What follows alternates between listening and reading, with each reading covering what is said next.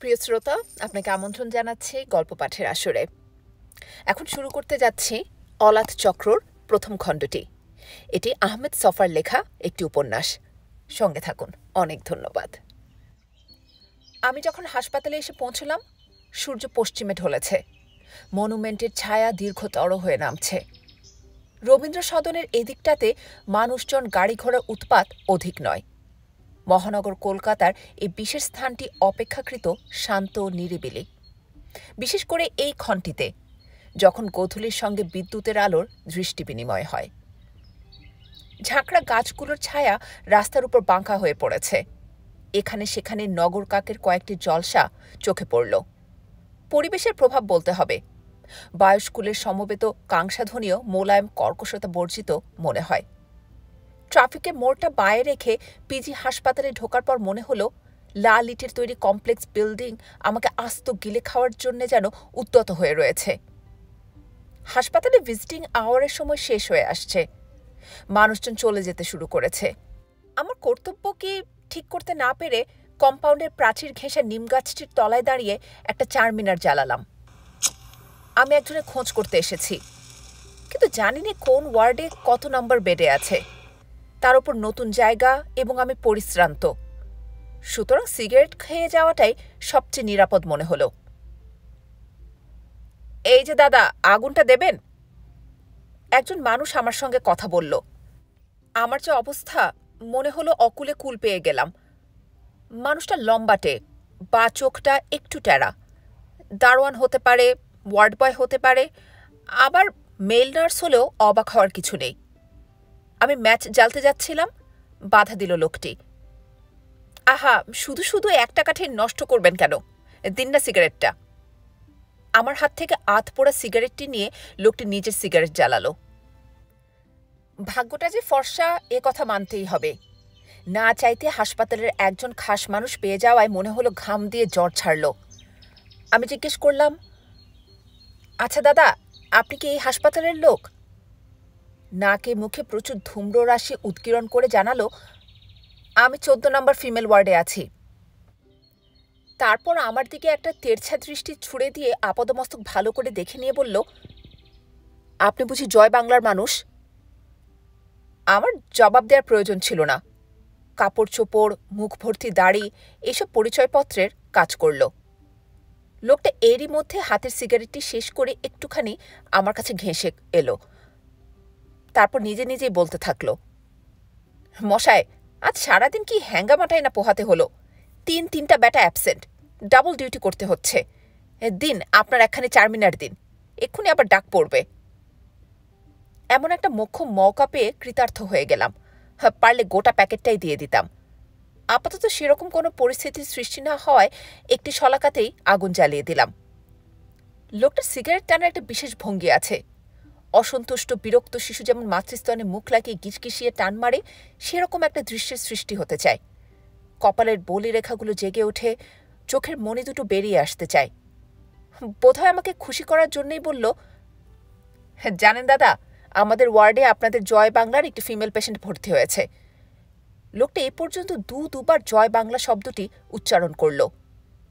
কলকাতা শহরের লোকদের মুখে ইদানিং জয় বাংলা শব্দটি শুনলে আমার অস্তিত্বটা যেন কুকড়ে আসতে চায়। শেয়ালদার মোড়ে মোড়ে সবচেয়ে সস্তা, সবচেয়ে ঠুনকো স্পঞ্জের স্যান্ডেলের নাম জয় বাংলা স্যান্ডেল। এক হপ্তার মধ্যে যে গেঞ্জি শরীরের মায়া ত্যাগ করে, তার নাম জয় বাংলা গেঞ্জি। জয় বাংলা সাবান, জয় বাংলা ছাতা, কত কিছু জিনিস বাজারে বাজারে ছেড়েছে কলকাতার ব্যবসায়ীরা। দামে সস্তা টেকার বেলায়ও তেমন। বাংলাদেশে উদ্বাস্তুদের ট্যাকের দিকে নজর রেখে এই সকল পণ্য বাজারে ছাড়া হয়েছে। কিছুদিন আগে যে চোখ ওঠা রোগটি ব্যাপকভাবে ছড়িয়ে পড়েছিল, কলকাতার মানুষ মমতাবশত তারও নামকরণ করেছিল জয় বাংলা। এই সকল কারণে খুব ভদ্র অর্থেও কেউ যখন আমাদের জয় বাংলার মানুষ বলে চিহ্নিত করে, অল্প স্বল্প বিব্রত না হয়ে উপায় থাকে না। সে যাজ্ঞে আমি জিজ্ঞেস করলাম আপনার ওয়ার্ডের বাংলাদেশের পেশেন্টটির নাম কি জানেন? নামধাম জানি নে। উনি আছেন উনত্রিশ নম্বর বেডে। বললাম, আমি এসেছি একজন রোগিনীর খোঁজে। কি অসুখ, কোথায় ভর্তি হয়েছে, কিছুই বলতে পারব না। আপনি কি এ ব্যাপারে কোনো উপকার করতে পারেন? চারমিনারের অবশিষ্ট সিগারেটগুলো তার হাতে তুলে দিলাম। লোকটা আমার খাতে হাত দিয়ে বলল, চলুন না চোদ্দ নম্বর ওয়ার্ডে। উনত্রিশের পেশেন্টই যদি হয়ে যায়, তাহলে তো পেয়েই গেলেন। উনত্রিশের পেশেন্ট জয় বাংলার অন্য কোনো পেশেন্ট থাকলে সে খবরও হয়তো বলতে পারবে। পিছে পিছে এল টাইপের একতলা বিল্ডিংটির লনের কাছে এলাম। লোকটি বলল, একটু দাঁড়ান, জিজ্ঞেস করে দেখি। চার পাঁচজন মহিলা লনে পায়চারি করছে। সেদিকে লক্ষ্য করেই হাঁক দিলেন, এই যে জয় বাংলার দিদিমণি, আপনাদের দেশের এক ভদ্রলোক একজন ফিমেল পেশেন্টের খোঁজ করছেন। দেখুন তো সাহায্য করতে পারেন কি না আমি তাকিয়ে দেখলাম কপালের দিকে সরে আসা চুলের গোছাটি সরাতে সরাতে তাই বা সুরকি বিছানো পথের ওপর এসে দাঁড়িয়েছে। আমাকে ডাকছো নাকি গোবিন্দদা? আগে দিদিমণি, আপনাদের জয় বাংলার এক ভদ্রলোক একজন ফিমেল পেশেন্টের তালাশ করছে। আপনি একটু কথা বলে দেখুন তো। এতক্ষণে জানা গেল লোকটির নাম গোবিন্দ। তাই বা এরই মধ্যে তার পুরানো সম্পর্ক পাতানোর ব্যাপারটি চালু করে ফেলেছে দেখছি। আমার চোখে চোখ পড়তে তা এবার চোখ চোড়া আনন্দে চকচক করে উঠল।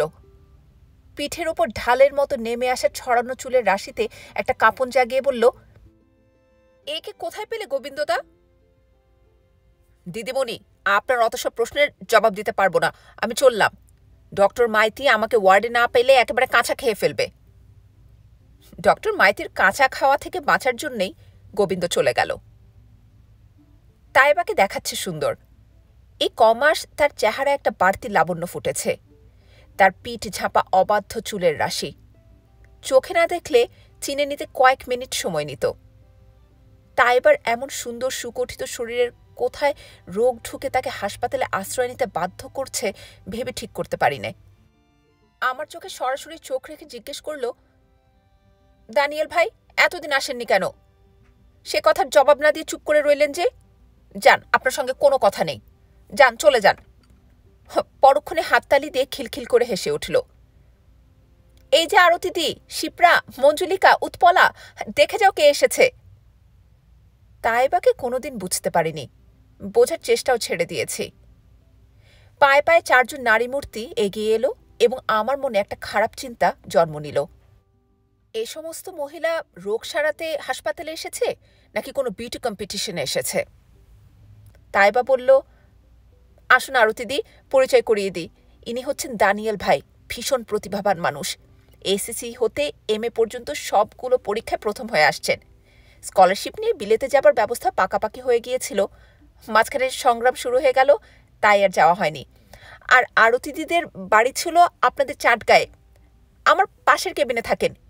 এ হচ্ছে শিপ্রা গুহ ঠাকুরতা, বরিশালের বানারি পাড়ার মেয়ে। আর যে মঞ্জুলাকে দেখছেন, তারও আসল বাড়ি বাংলাদেশের ময়মনসিংহ জেলায়। পোড়ার মুখে তিন বছর ধরে এই হাসপাতালে ডেরা পেতে আছে। অবশেষে উৎপলার হাত ধরে বলল, এর পরিচয় আপনি জানতে পারবেন না। ওর সাত পুরুষের কেউ কশিনকালেও পদ্মার হেপারে যায়নি। একবারে জাত ঘটি, তার উপর আবার ব্রাহ্মণ কন্যা। এখন ঠেকায় পড়ে এই মেলেচ্ছনির সঙ্গে রাত্রিবাস করতে হচ্ছে। রাত্রিবাস শব্দটি এমন এক বিশেষ ভঙ্গি সহকারে উচ্চারণ করল, সকলে হো হো করে হেসে উঠল। এই ঘটা করে পরিচয় করানোটা যে আমার ভালো লাগেনি, তা এবার সেটা অজানা থাকার কথা নয়। তুচ্ছ জিনিসকে বড় করে দেখানোর ব্যাপারে তার জুড়ি নেই। কিন্তু আজকের বাড়াবাড়িটা সমস্ত সীমানা ছাড়িয়ে গেছে। জীবনে আমি ফার্স্ট সেকেন্ড কোনো দিনই হতে পারিনি।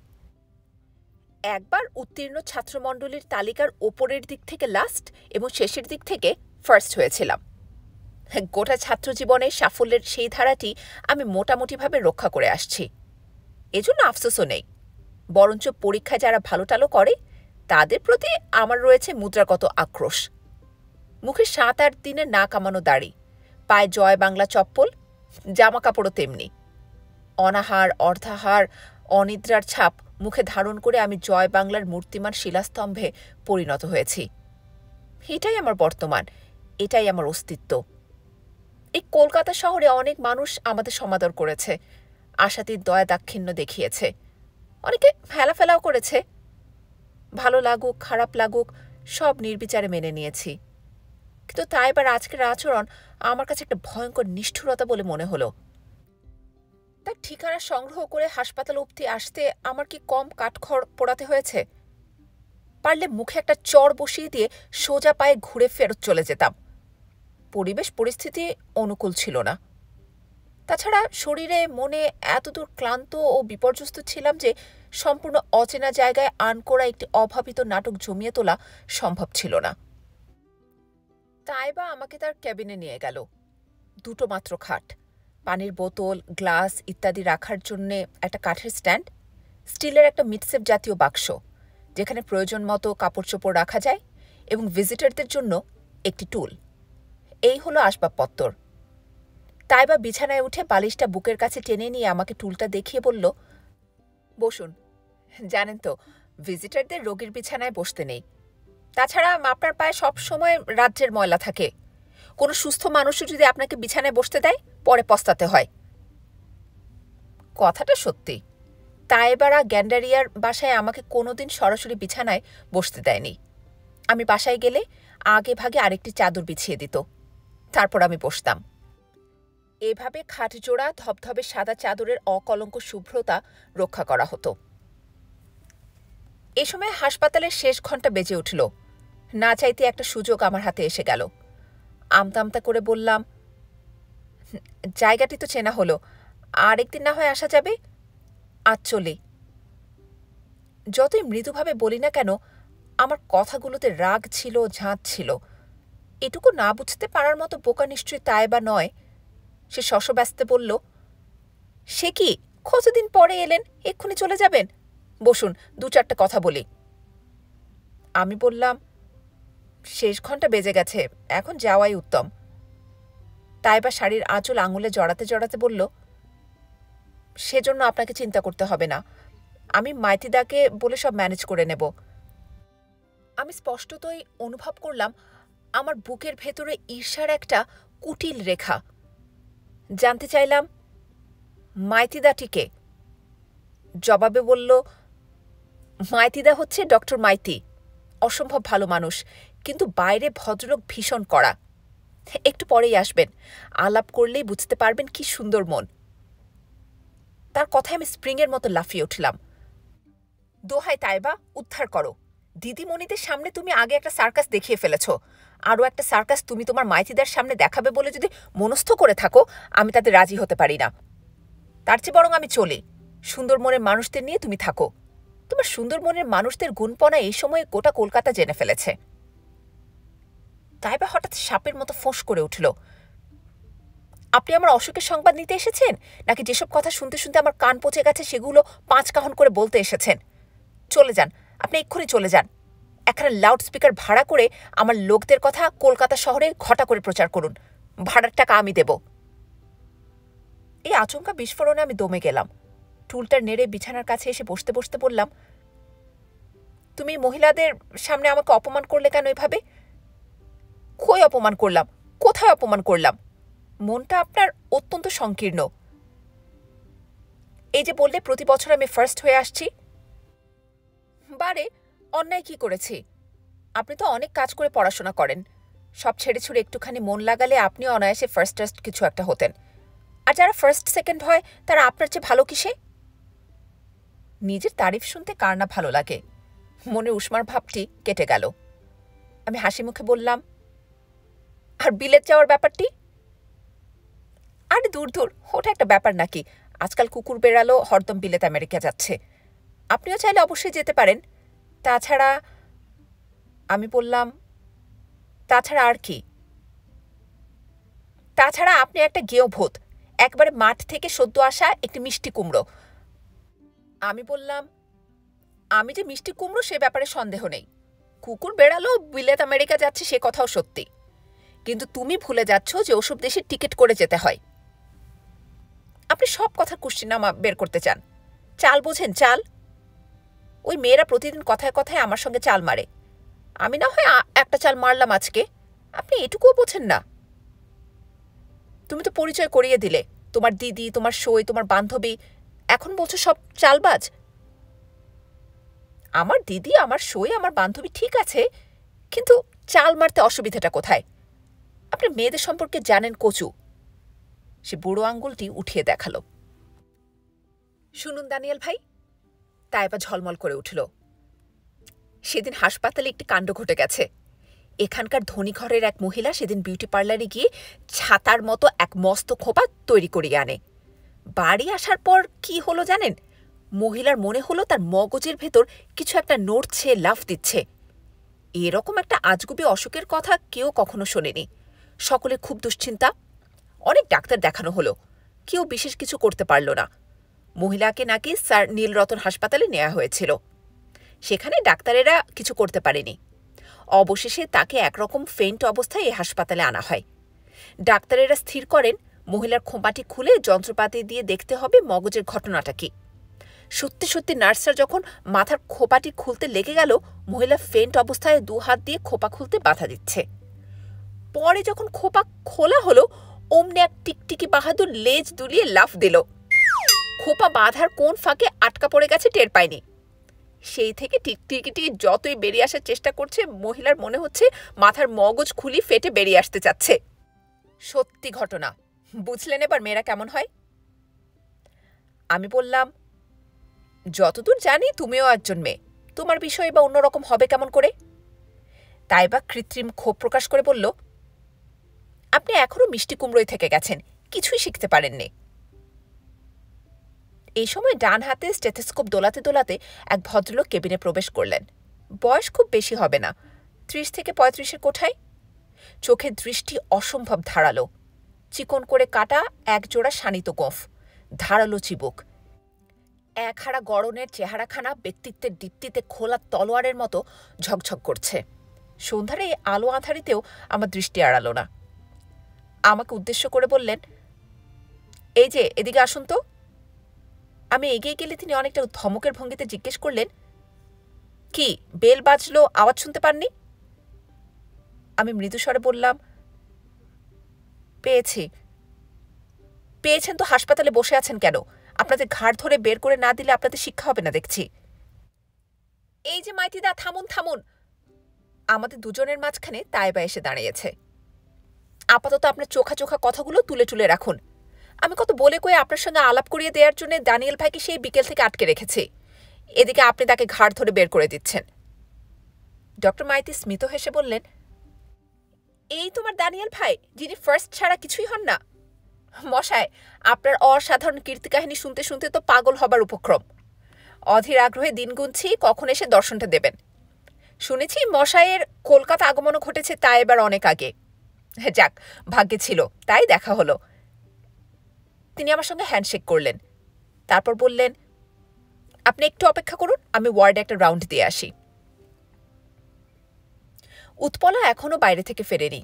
কেবিনে আমরা দুজনা। এই ফাঁকে আমি জিজ্ঞেস করলাম, তাইবা, তোমার শরীর কেমন? কেমন আছো? রোগের অবস্থা কি? তাইবা মৃদু অথচ দৃঢ়স্বরে বলল, ওসব কথা থাকুক, আমার শরীর ভালো, আমি ভালো আছি। আমি বললাম, আগরতলা আসার সময় তোমাদের সঙ্গে শেষ দেখা। তোমরা তো আমার সঙ্গে এলে না। কলকাতা এসে খবর পেলাম, তোমরাও আগরতলায় এসে একটা ক্যাম্পে উঠেছ। কলকাতায় নানা জনের কাছ থেকে নানাভাবে তোমার খবর পেয়েছি। একজন বলল, তোমাকে তিন দিন পার্ক সার্কাসের কাছে রাস্তা পার হতে দেখেছে। আরেকজন বলল, তুমি সকাল বিকেল তিনটি করে টিউশনি করছ। শেষ পর্যন্ত নির্মল একদিন এসে জানালো তোমাকে হাসপাতালে ভর্তি করা হয়েছে। কোন হাসপাতাল, কি রোগ, কিছুই জানাতে পারল না।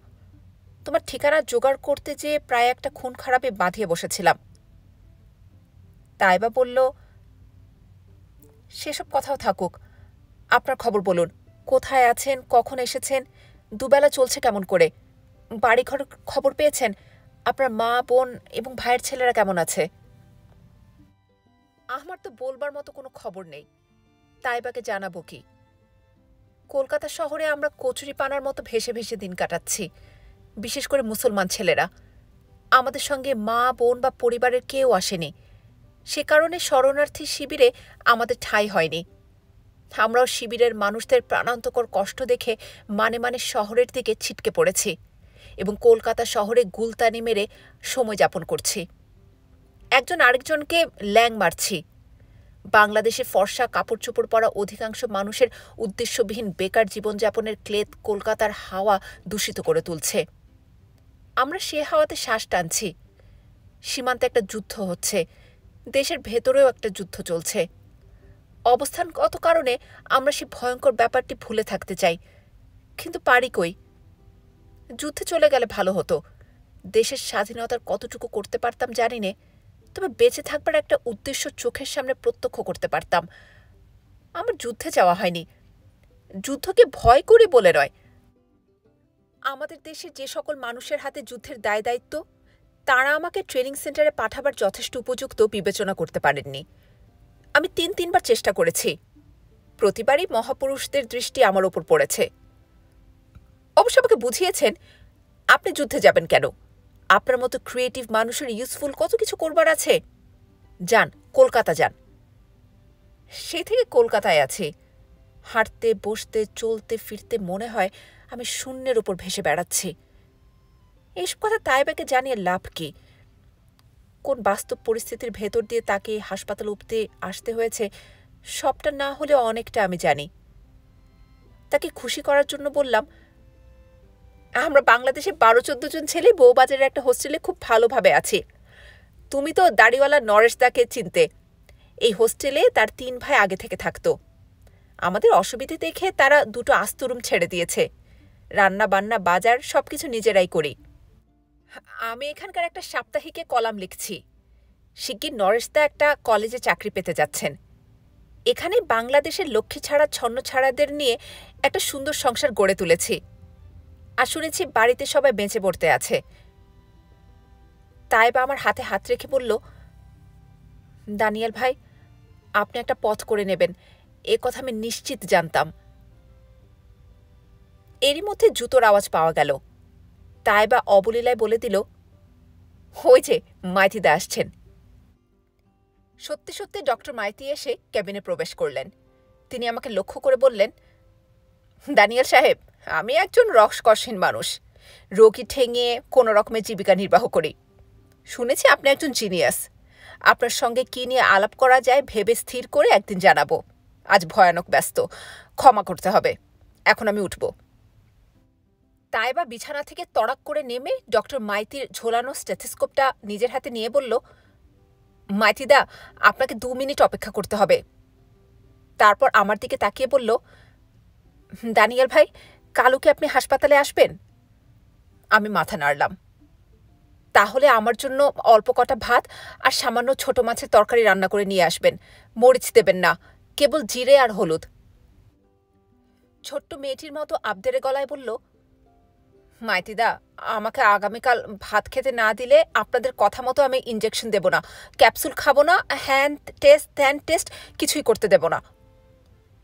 ডক্টর মাইতির হাত ধরে বলল আপনি হ্যাঁ বলুন মাইতিদা ডক্টর মাইতি বেশ শান্ত কণ্ঠে বললেন "হ্যাঁ, বেশ তো দানিয়েল সাহেব কালকে ভাত মাছ রান্না করে নিয়ে আসুন। কিন্তু আমি ভাবছি পুরুষ মানুষের হাতের রান্না তোমার মুখে রুচবে কি কিনা তাইবা বলল রুচবে খুব রুচবে। দানিয়েল ভাই ট্যাংরা মাছ পান কিনা দেখবেন। ডক্টর মাইতি ঘোরে দেখে বললেন এবার আমি উঠব। দানিয়েল সাহেব আপনিও কেটে পড়ুন। এমনিতেই অনেক কনসেশন দেয়া হয়েছে। তা এবার কেবিন থেকে বেরিয়ে এসে পেছন ফিরে একবার হাসপাতালের কমপ্লেক্সটির দিকে তাকালাম। ছেঁড়া ছেঁড়া অন্ধকারে বিরাট বাড়িটাকে নিস্তব্ধতার প্রতিমূর্তির মতো দেখাচ্ছে। মৃত্যু এবং জীবনের সহাবস্থান বাড়িটার শরীরে এক পোঁচ অতিরিক্ত গাম্ভীর্য মাখিয়ে দিয়েছে মনে হলো। হাসপাতালের কম্পাউন্ড থেকে বেরিয়ে এসপ্ল্যানেডের পথ ধরলাম। পনেরো নম্বর ট্রাম ধরে আমাকে বউবাজারে নামতে হবে। উল্টোপাল্টা কত রকমের চিন্তা যে মনের ভেতর ঢেউ তুলছিল, তা এবার অসুখটা কি খুব সিরিয়াস? তার মা কি দিনাজপুর থেকে কলকাতা আসতে পেরেছে? ডোরা শেষ পর্যন্ত পিলে চমকানো এমন একটা দুর্ঘটনা সৃষ্টি করল। এত বড় একটা কাণ্ড ঘটাবার পরেও জাহিদ নামের মাঝবয়সী মানুষটি কি করে, কোন সাহসে হুলু বেড়ালের মতো গোফ জোড়া বাগিয়ে তাইবাকে হাসপাতালে দর্শন দিতে আসে, আমি তো ভেবে পাই নাই। ট্রাম দাঁড়াতে দেখে দৌড়ে চড়তে যাচ্ছি। এমন সময় পেছনে ঘাড়ের কাছে কার স্পর্শ অনুভব করলাম। তাকিয়ে দেখি ডক্টর মাইতি। তিনি বললেন দানিয়াল সাহেব একটা কথা বলতে এলাম। মাছ রান্না করার সময় একেবারে লবণ ছোঁয়াবেন না। আমি বললাম "হ্যাঁ, আপনি ঠিকই ধরতে পেরেছেন। গ্যান্ডারিয়ার বাসাতেও তাই বা কখনো লবণ খেত না। তিনি জানতে চাইলেন আপনি কতদিন তাইবাকে চেনেন? আমি বললাম হ্যাঁ তা বছর চারেক তো হবেই। তিনি আমাকে জেরা করার ভঙ্গিতে বললেন, তার কি রোগ হয়েছে আপনি জানেন? বললাম, জানি নে, মাঝে মাঝে দেখতাম নিঃসার হয়ে পড়ে আছে। কিছুদিনের জন্য হাসপাতালে যেত, আবার ভালো হয়ে চলে আসতো। শুধু এটুকু জানি সে লবণ খেত না, আর চাটা ঠান্ডা করে খেত। তিনি বললেন এর বেশি আপনি কিছু জানেন না? বললাম, বারে, জানব কি করে? মহিলাদের রোগের কি কোনো সীমা সংখ্যা আছে? তাছাড়া তাই বা আমাকে জানানোর প্রয়োজন মনে করেনি। আসলে তার অসুখটা কি? তিনি বললেন, উচিত কাজ করেছে এইসব আপনাকে পোষাবে না। আপনি অন্য রকমের মানুষ। আর শুনুন, ভাত তরকারি আনার সময় লুকিয়ে আনবেন। ডক্টর ভট্টাচার্য জানতে পেলে ওকে হাসপাতালে থাকতে দেবেন না। এটুকু কষ্ট করে মনে রাখবেন।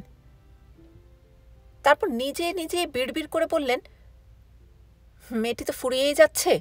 যা খেতে চাক, খেয়ে নিক। ডক্টর মাইতি একটা চাপা নিঃশ্বাস ছাড়লেন। আমার বুকটা ভয়ে, আশঙ্কায় গুড়গুড় করে উঠল। ডক্টর মাইতি বললেন, আপনার ট্রাম, আমি চলি। বউবাজারের স্টপেজে ট্রাম থামতেই লোডশেডিং শুরু হয়ে গেল। সেই কলকাতার বিখ্যাত লোডশেডিং এটা এখানকার নিত্য নৈমিত্তিক ব্যাপার। তবে এখনও আমাদের ঠিক গা সওয়া হয়ে ওঠেনি। অনেক কষ্টে হাতড়ে হাতড়ে সিঁড়ির গোড়ায় এসে দেখি দারোয়ান পাড়েজি কেরোসিনের কুপি জ্বালিয়ে কম্বলের ওপর দিব্যি হাত পা ছড়িয়ে শুয়ে আছে। বিরাট উদরটা আস্ত একখানি ছোট্ট টিলার মতো নিঃশ্বাসের সাথে ওঠানামা করছে। নাক দিয়ে মেঘ ডাকার মতো শব্দ হচ্ছে। সকালবেলা বেরোবার সময় পাড়েজিকে টিকিতে একটা লাল জবা ফুল গুজে কপালে চন্দন মেখে সুর করে হিন্দিতে তুলসীদাসী রামায়ণ পড়তে দেখেছি। তার যে এত বড় একটা প্রকাণ্ড ভুঁড়ি আছে, কখনো কল্পনাও করতে পারিনি। সিঁড়িতে পায়ের আওয়াজ পেয়ে পাড়ে যে ধর্মর করে জেগে হাঁক দিল, কন? আমি তার সামনে এসে দাঁড়ালে চোখ রগড়াতে রগড়াতে একটুখানি হেসে বলল, আমি তো ভাবলাম, কন না কন? আপনি তো জয় বাংলা বাবু আছেন। যেয়ে দোতলায় পা দিতে উত্তেজিত কণ্ঠস্বর শুনতে পেলাম। মনটা বিতৃষ্ণায় ভরে গেল। এই লক্ষ্যহীন, উদ্দেশ্যহীন জীবনে বৎসা, ঝগড়া, এসবই আমার নিয়মিত করে যাচ্ছি। আমার শরীরটা আজ ক্লান্ত। মনটা ততোধিক। ভেবেছিলাম কিছুক্ষণ চুপ করে শুয়ে থাকব। কিছু সময় একা একা থাকা আমার বড় প্রয়োজন। বাইরে কোথাও পার্কে টার্কে বসে কিছুক্ষণ কাটিয়ে আসব কিনা ভাবাগোনা করছি। এ সময় আলো জ্বলে উঠল। সুতরাং ঘরের দিকে পা বাড়ালাম। মেঝের ওপর পাতা, আমাদের ঢালাও, বিছানার ওপর নরেশদা গালে হাত দিয়ে বসে আছেন। তার বিপরীত দিকে দুজন অচেনা তরুণ। দুজনেরই গায়ে মোটা কাপড়ের জামা। একজনের হাতা কোনোই অবধি গোটানো। জামার রং বাদামি ধরনের? তবে ঠিক বাদামি নয়। বুঝলাম এরা কোনো ট্রেনিং ক্যাম্প থেকে এসে থাকবে। হাত কুটানো তরুণের গায়ের রং হয়তো একসময় উজ্জ্বল ফর্সা ছিল, এখন তামাটে হয়ে গেছে। আরেকজনা একেবারে কুচকুচে কালো। নরেশদা বললেন, এসো দানিয়েলের সঙ্গে পরিচয় করিয়ে দিই। ফর্সা তরুণটির দিকে আঙুলি বাড়িয়ে দিয়ে বললেন, এর নাম হচ্ছে আজহার, আমার ছাত্র, আর ও হচ্ছে তার বন্ধু হিরণময়। দুজনেই জলাঙ্গি ট্রেনিং ক্যাম্প থেকে এসেছে। আজ রাত সাড়ে বারোটার সময় ট্রেনিং নেয়ার জন্য অন্যান্যদের সঙ্গে দেরাদুন চলে যাচ্ছে। নরেশদা জিজ্ঞেস করলেন, আজহার, তোমরা কিছু খাবে না? না, স্যার, হোটেলে খেয়েই তো এলাম আপনার কাছে। নরেশদা বললেন, তারপর খবর টবর বলো, এখানে এসে কি দেখলে আর কি শুনলে? আজহার বলল দেখলাম স্যার ঘুরে ঘুরে প্রিন্সেপ স্ট্রিট, থিয়েটার রোডের সাহেবরা খেয়ে দিয়ে তোফা আরামে আছেন। অনেকে তো চেনাই যায় না, চেহারায় চেকনাই লেগেছে। আমাদের ক্যাম্পগুলোর অবস্থা যদি দেখছেন স্যার, কি বলব? খোলা আকাশের নিচে হাজার হাজার তরুণ রাত কাটাতে বাধ্য হচ্ছে। বৃষ্টিতে ভিজছে, রোদে পুড়ছে। কারও অসুখ বিসুখ হলে কি করুর অবস্থা দাঁড়ায়, নিজের চোখে না দেখলে বিশ্বাস করতে পারবেন না, স্যার। আমরা কলকাতায় এসেছি, চার দিন হলো। এই সময়ের মধ্যে অনেক কিছু দেখে ফেলেছি। এক একজন লোক ভারত সরকারের অতিথি হিসেবে এখানে জামাই আদরে দিন কাটাচ্ছে। তাদের খাওয়া দাওয়া, ফুর্তি করা কোনো কিছুর অভাব নেই। আরেক দল বাংলাদেশের ব্যাংক থেকে সোনা লুট করে কলকাতায় এসে ডেরা পেতেছে। আবার অনেকে এসেছে বিহারিদের পুঁজিপাট্টা হাতিয়ে নিয়ে। আপনি কলকাতার শহরের সবগুলো বার নাইট ক্লাবে খোঁজ করে দেখুন। দেখতে পাবেন ঝাঁকে ঝাঁকে বাংলাদেশের মানুষ দু হাতে পয়সা ওড়াচ্ছে। এদের সঙ্গে থিয়েটার রোডের কর্তা ব্যক্তিদের কোনো যোগাযোগ নেই বলতে পারেন? কথায় কথায় আজহার ভীষণ রেগে উঠল।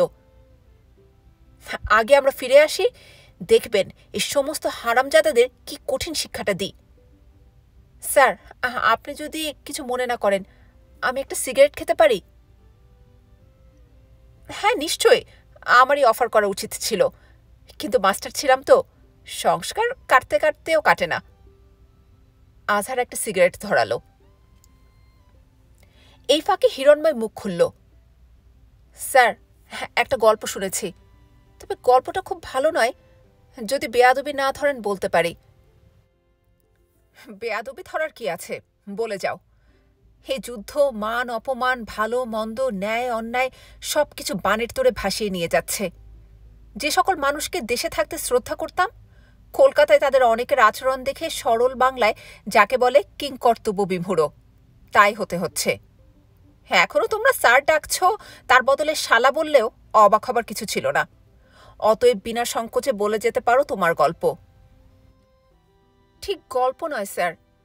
এখানকার একটা সাপ্তাহিকে খবরটা ছেপেছে। প্রবাসী বাংলাদেশ সরকারের একজন মন্ত্রী নাকি সোনাগাছিতে গিয়ে পুলিশের হাতে ধরা পড়ে? চেনেন তো স্যার, সোনাগাছি কি জন্যে বিখ্যাত? নরেশতে দাঁড়িতে আঙুল চালাতে চালাতে বললেন এই নিরীহ মাস্টার অন্য কিছু বলতে না পারলেও সোনাগাছি কি জন্য বিখ্যাত সে কথা অবশ্যই বলতে পারে।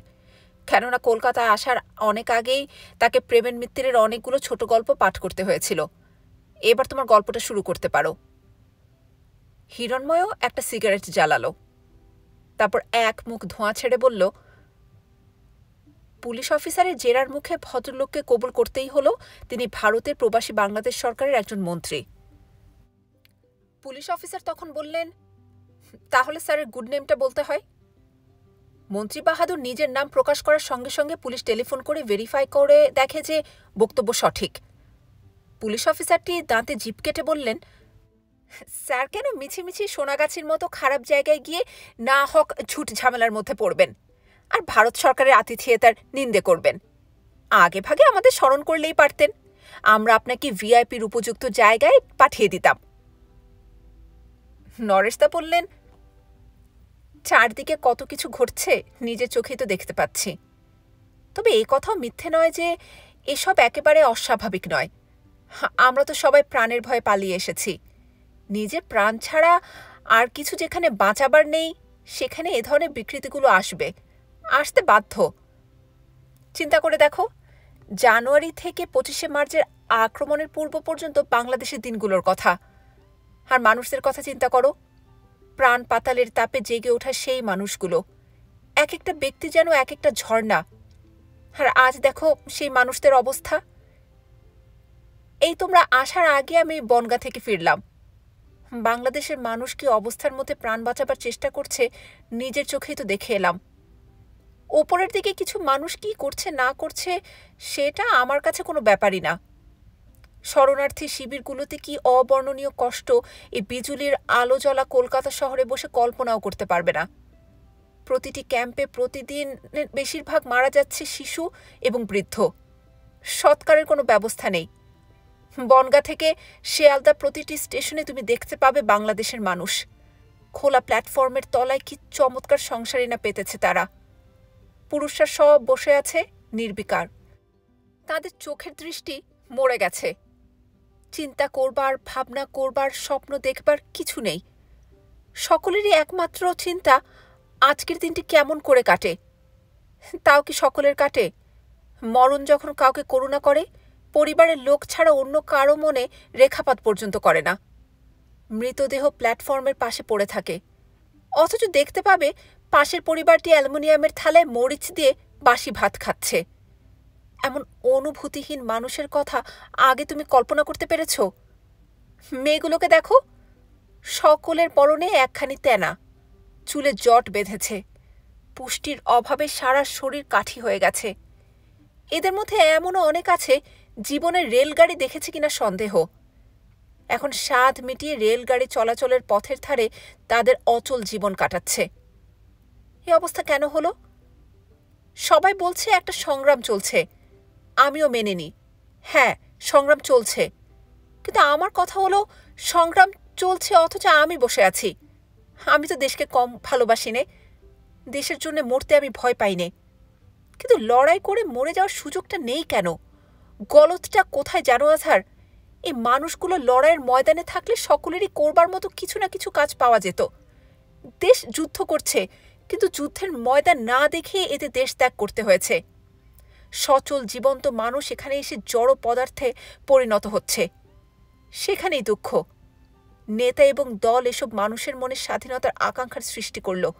কিন্তু তাদের সংগ্রামের ক্ষেত্র রচনা করতে ব্যর্থ হলো। নেতা গেল পাকিস্তানের কারাগারে। আর আমরা পাকিস্তানি সৈন্যদের আক্রমণের মুখে দেশ ছেড়ে চলে এলাম। সেখানেই আফসোস। নানা হতাশা এবং বেদনার মধ্যে স্বীকার করি একটা যুদ্ধ হচ্ছে। একদিন না একদিন আমাদের মাটি থেকে পাকিস্তানি সৈন্যদের চলে যেতেই হবে। কিন্তু আমার তো বাবা এই তক্তপোষের উপর ঘুমিয়ে ঘুমিয়ে পিঠে বাদ ধরে গেল। নরেশ তা এক নাগারে অনেকক্ষণ কথা বলে থামলেন। কিছু মনে করো না বাবা, মাস্টার মানুষ, একবার কথা বলতে আরম্ভ করলে আর থামতে পারিনে। হিরণময় জানতে চাইল, স্যার, বনগা কেন গিয়েছিলেন? নরেশ তার জবাবে বললেন, আমার বুড়ো মা এবং বাবা কয়েকজন আত্মীয় স্বজন সহ আজকে বনগা শরণার্থী শিবিরে পৌঁছানোর কথা। বনগার আশেপাশে যে কটা শরণার্থী শিবির আছে, সবগুলোতেই তালাশ করলাম। পরিচিত আত্মীয় স্বজন অনেকের সঙ্গেই দেখা হলো। কিন্তু মা বাবাকে পাওয়া গেল না। হয়তো এসে পড়বেন দু চার দিনের মধ্যে, নইলে নরেশতে চুপ করে গেলেন। কথাটার অশুভ ইঙ্গিত সকলকে স্পর্শ করল। আমি অত্যন্ত দুঃখিত, স্যার। হাতের আধপোড়া সিগারেটটি ছুঁড়ে ফেলে দিল আজহার। স্যার, আপনার এই মানসিক অবস্থায় বিরক্ত করার জন্য অত্যন্ত লজ্জিত এবং দুঃখিত। আসলে প্রথমে আপনার মা, বাবা আত্মীয় স্বজনের সংবাদ নেওয়াই উচিত ছিল। আমাদের মুসলমান ছেলেদের বেশিরভাগই একা একা এসেছে কিনা, তাই পরিবারের কথাটা মনে থাকে না। সেজন্য এমনটি ঘটেছে। আশা করছি অবশ্যই তারা দু চার দিনের মধ্যে এসে পড়বেন। আপনি চিন্তা ভাবনা করবেন না, স্যার। আমি দেরাদুনে পৌঁছে আপনাকে চিঠি দেব। আপনি অবশ্যই জানাবেন তারা পৌঁছলো কিনা। আজহার ঘড়ি দেখে প্রায় একরকম লাফিয়ে উঠল। স্যার, এবার আমাদের উঠতে হয়। মেজর হরদয়াল সিংহের কাছে হাওড়া স্টেশনে হাজিরা দিতে হবে। তার আগে অনেকগুলো ফর্মালিটি পালন করতে হবে। কাঁটায় কাঁটায় রাত বারোটায় রিপোর্ট করতে হবে। আসার এবং হিরণময় উঠে দাঁড়াল। তাদের পিছু পিছু আমি এবং নরেশদা বিদায় জানাতে নিচতলার গেট পর্যন্ত এলাম। আজহার নত হয়ে নরেশদার পাঁচ হয়ে সালাম করল। তারপর বাচ্চা ছেলের মতো কেঁদে ফেলল। নরেশদা মমতা মেশানো কণ্ঠে বললেন, ছি বাবা, খাটতে নেই। আজহার কান্না জড়ানো কণ্ঠে বলল, আমার দু ভাই পাকিস্তানের মারিতে আটকা পড়ে আছে। এক বোন এবং ভগ্নিপতি লাহোরে। এতদিন মনেই পড়েনি আপনার মা বাবার কথা শুনে তাদের কথা মনে পড়ল। রাস্তার ফুটপাথ ধরে দুজন হন হন করে চলে গেল। আমরা দুজন কিছুক্ষণ সেদিকে তাকিয়ে রইলাম অবাক হয়ে। আমাদের সকলেরই এক একটা করুণ কাহিনী রয়েছে। নরেশ তা জানতে চাইলেন, দানিয়েল, তুমি খেয়েছ? আমি মাথা নাড়লাম। চলো, ওপরে যে কাজ নেই, একেবারে খেয়েই আসি। বললাম চলুন। তিনি জিজ্ঞেস করলেন, কোথায় যাবে? আমার অত বেশি খাওয়ার ইচ্ছে নেই, যেখানেই হোক চলুন। নরেশদা বললেন এত দুঃখ, এত মৃত্যু, এসবের যেন শেষ নেই। যাই হোক, চলো আজ মাছ ভাত খাই। আজ আমার একটুখানি নেশা করতে ইচ্ছে করছে। নরেশ তো এমনিতে হাসি খুশি ভোজন বিলাসী মানুষ। কিন্তু পয়সার অভাবে তাকেও আমাদের সঙ্গে দুবেলা মাদ্রাসি দোকানে দোসা খেয়ে দিন কাটাতে হচ্ছে। বাঙালি দোকানে সামান্য পরিমাণ মাছ, ডাল এবং ভাত খেতে কম করে হলেও ছয় টাকা লেগে যায়। সেখানে মাদ্রাসি দোকানে দেড় দু টাকায় চমৎকার আহার পর্ব সমাধা করা যায়। ভীমনাগের মিষ্টির দোকানের সামনে দিয়ে আমরা রাস্তা পার হলাম। স্যার আশুতোষ মুখার্জির ছবিটিতে কড়া আলো পড়েছে। স্যার আশুতোষ ভীমনাগের মিষ্টি খেতে পছন্দ করতেন। বিজ্ঞাপন হিসেবে প্রচার করার জন্য ভীমনাগ স্যার আশুতোষের পোর্ট্রেটটা ঝুলিয়েছে। কিন্তু পোর্ট্রেটটি দেখে এরকম ধারণা হওয়া একান্ত স্বাভাবিক যে ভীমনাগের মিষ্টির গুণে স্যার আশুতোষ এত বৃহদায়তন ভুঁড়ির অধিকারী হতে পেরেছেন। অতএব যারা ভুঁড়ির আয়তন বড় করতে চান, পত্রপাঠ ভীমনাগের দোকানে চলে আসুন। আমরা দুজন সামান্য একটু হেঁটে ডাইনে বঙ্গলক্ষ্মী হোটেলে ঢুকলাম। খদ্দেরের পরিমাণ যথেষ্ট নয়। একটা টেবিলের দুপাশে বসলাম। নরেশদা বললেন, চলো, আজ মাংস খাওয়া যাক। আমি জিজ্ঞেস করলাম, পয়সা আছে?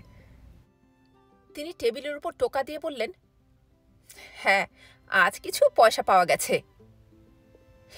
এটা তো আশ্চর্য ব্যাপার। রাস্তায় কুড়িয়ে পেলেন নাকি? রাস্তায় কি আর টাকা পয়সা কুড়িয়ে পাওয়া যায়? মাদারীপুরের এক ভদ্রলোক আমার কাছ থেকে শ তিনেক টাকা ধার নিয়েছিলেন। আজকে বনগা স্টেশনের কাছে তার সঙ্গে দেখা। অবশ্যই তিনি জিপে চড়ে রেফিউজি ক্যাম্পে দর্শন দিতে এসেছিলেন। তার হাতে অনেক টাকা, অনেক প্রতাপ। মাদারীপুর ব্যাংকের লুট করা টাকাও নাকি তার হাত দিয়ে বিলি বন্টন হয়েছে। ভাবলাম, এই সময় পাওনা টাকাটা দাবি না করাই হবে বোকামো। আমি জিপের সামনে দাঁড়াতে তিনি ঝট করে জিপ থেকে নেমে এসে আমাকে জড়িয়ে ধরলেন। কত কি জিজ্ঞেস করলেন, কিন্তু আমি আমার উদ্দেশ্যটা ভুলে যাইনি। আমাদের দিনকাল খারাপ যাচ্ছে শুনে পকেট থেকে একটি পাঁচশো টাকার নোটের তারা অন্য কেউ দেখতে না পায় মতো বের করে সেখান থেকে একখানি নোট আমার হাতে ধরিয়ে দিলেন। আমি তো বিপদেই পড়ে গেলাম। খুচরো কোথায় পাই? তাই বললাম, আপনি বরং তিনশোই দিন। আমার তো খুচরো করার কোনো উপায় নেই। তিনি বললেন রাখুন, প্রফেসর বাবু। আপনার খুচরো, সে পরে দেখা যাবে। জিপে স্টার দিয়ে দলবল সহ বারাসাত রেফিউজি ক্যাম্প ভিজিট করতে চলে গেলেন। বেয়ারা এলে তিনি পাঠার মাংস, ডাল ভাত দিতে বললেন। খেতে খেতে জিজ্ঞেস করলাম, মা বাবার কোনো খোঁজ পেলেন? খবর তো পাচ্ছি, রোজ পথে আছেন পথে আছেন। কিন্তু কোন পথ সেটা তো ভেবে স্থির করতে পারছি না। আজই তো এসে যাওয়ার কথা ছিল। গোটা দিন অপেক্ষা করলাম। কিন্তু অপেক্ষাই সার। হঠাৎ করে নরেশ তার হিক্কা উঠল। প্রাণপণ সংযমে হিক্কার বেগ দমন করে আবার খেতে লাগলেন। আমি ফের জানতে চাইলাম, কল্যাণেরও কোনো খবর পাওয়া গেল না? হ্যাঁ তার একটা খবর আছে বটে, তবে সত্যি মিথ্যে বলতে পারব না। সে নাকি কীভাবে পশ্চিম দিনাজপুরে তার এক আত্মীয় বাড়ি এসে উঠেছে? ঠিকানা পেয়েছেন? নরেশ তার জবাবে বললেন হ্যাঁ আমি বললাম, তবে দু একদিনের মধ্যে নিজে গিয়ে দেখে আসুন অথবা ক্ষিতীশকে পাঠিয়ে দিন। নরেশ আমাকে ধমক মারলেন, আরে রাখো তোমার পশ্চিম দিনাজপুর, যাওয়া আসার খরচ কত জানো? এই কল্যাণীর সঙ্গে নরেশ তার বিয়ে ঠিক হয়েছিল।